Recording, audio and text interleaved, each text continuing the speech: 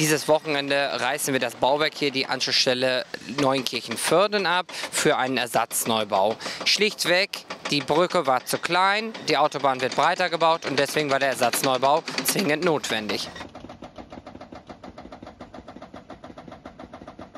Wir haben gedacht, dass äh, der Brückenabriss oder die Brücke fällt ein wenig später. Nein, sie ist wirklich sehr, sehr pünktlich gefallen, top koordiniert. Wir haben hier seit gestern Abend 22 Uhr sechs Hydraulikbagger, äh, versuchen auf Hochdruck äh, die Brücke ähm, ja, ähm, abzubrechen. Wir liegen komplett im Zeitplan. Besser kann es nicht klappen.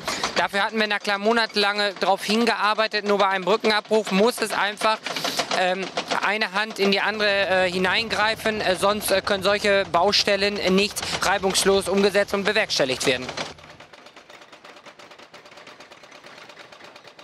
Zurzeit die Brücke, wie man sieht, äh, sie ist äh, abgebrochen. Jetzt liegt sie unten und jetzt wird sie zerkleinert, damit sie auf dem Brech- und Mischplatzanlage gefahren werden kann und dass wir hoffentlich ab morgen 14 Uhr wieder den Verkehr fließen lassen können, damit äh, der Verkehr äh, nicht mehr beeinträchtigt wird.